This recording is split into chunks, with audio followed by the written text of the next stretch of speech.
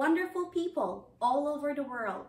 Welcome to Powerful Couple Journey where we show you our random day-to-day -day lives here in the US. In today's video, I am going to show you how I did my J1 visa through a teacher exchange cultural program and this is also a video where I'll show you a glimpse in how I get my J1 waiver. So let's dive in and let the journey begin. My name is Emery Torreda Powell. I am now here in the United States of America, specifically here in the state of Florida.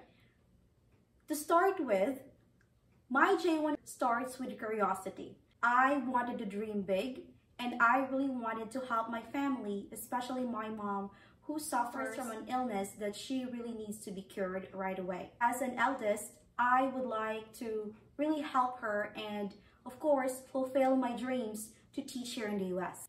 So what I did was I was able to connect a J1 teacher here in the United States and she was able to let me know one of the agency that is helping aspirants like me from the Philippines to teach in the United States of America. The journey is not easy, especially that I have to make sure I pass the local interview and the international interview.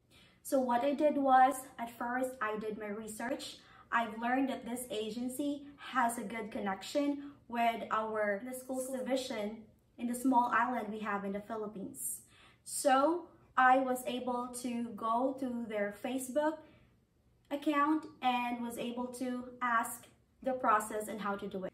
That local interview comprises of all the questions that are needed in order for me to prepare myself and how I was able to cope up with the different challenges and behavior management in my class. It's all about classroom management, what are the success stories I have at school, and what are the things that I can showcase in order to show a cultural exchange through a J1 visa. Then I was told to wait for a few days to determine if I pass that interview. The owner or CEO of that agency was able to give me a phone call and I do vividly remember that I did that 12 midnight. I said to myself, this is my dream and I know I can make a sacrifice. I was given opportunity to be interviewed for five to eight minutes and that was not easy because you really have to deal with the language that is which is English. And you really have to show them even though it's through a phone call that you are confident and you can surpass all of the questions they have because it's just a preliminary. There are a lot of things that has to be done as well during the journey. A few days after that I received a message through my email that says, Emery, congratulations, you were approved to connect with us in order to work with a school district here in the United States of America. Since it's an agency, I have to pay them initial payments in order to get the links. Right now, wonderful Facebook group that offer free services and free ideas on how to teach here in the US, especially through direct hiring. So search in the Facebook group and you will see what are the support groups that has given opportunities to Filipinos like me from the Philippines to teach here in the United States of America. So let's go back to my agency.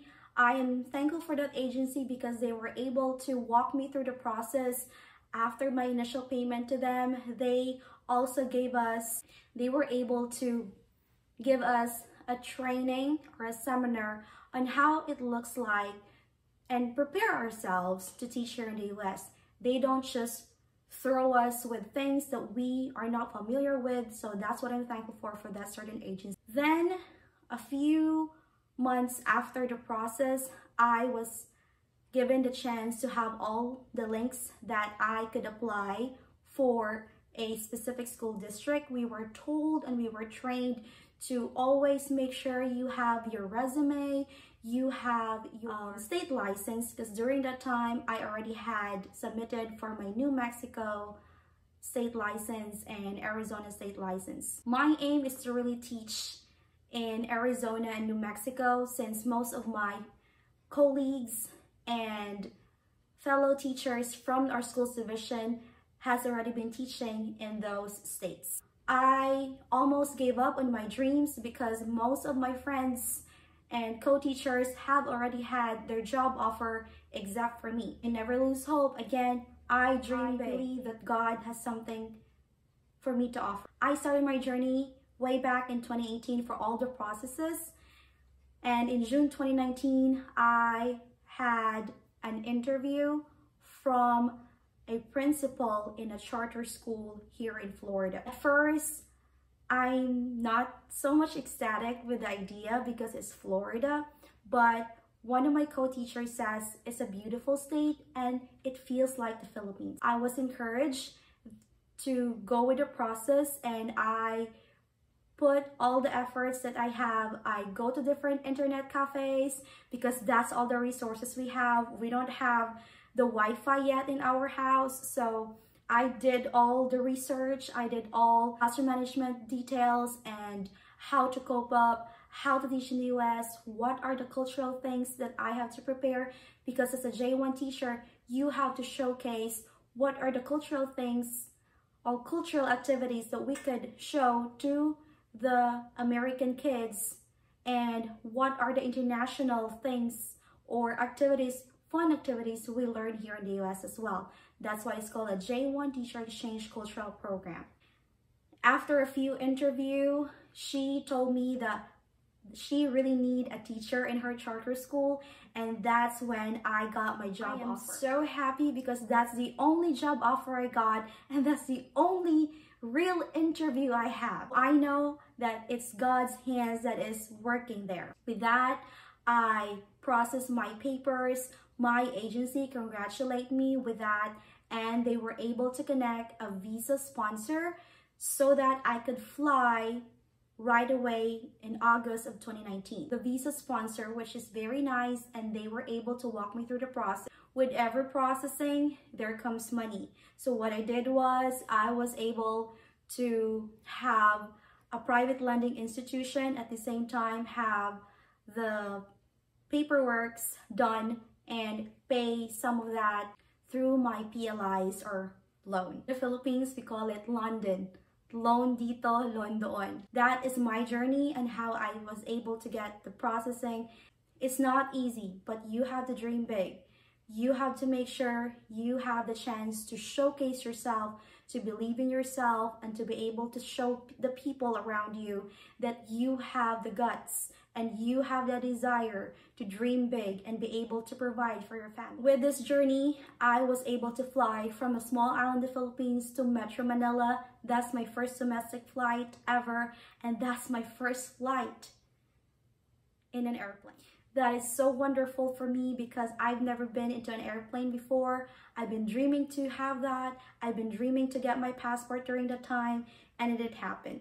So my process starts in September 2018, I was able to get my passport, able to have my birth certificate, able to have all the files. And again, if you have an agency, you're guided at the same time. If you have a free Facebook group that supports teacher, that is also a great way because I've seen that they have sym symposium and they were able to walk you through the process as well. After the J1 process that I have, I was able to have a partner give me the chance to have my adjustment of status. With that, I filed for all the forms in the United States, USCIS, and Department of State.